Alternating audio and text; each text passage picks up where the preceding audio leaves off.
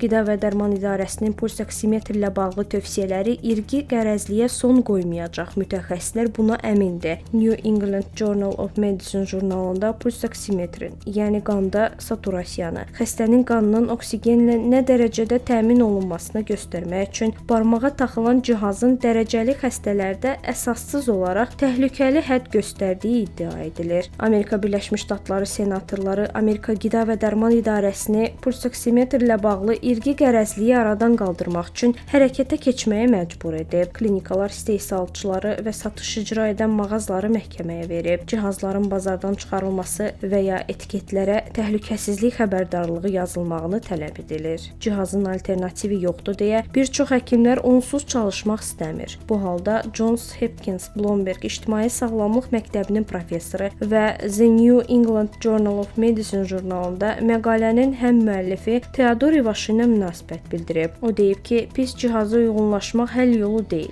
daha təkmil cihaz istehsal edilməlidir.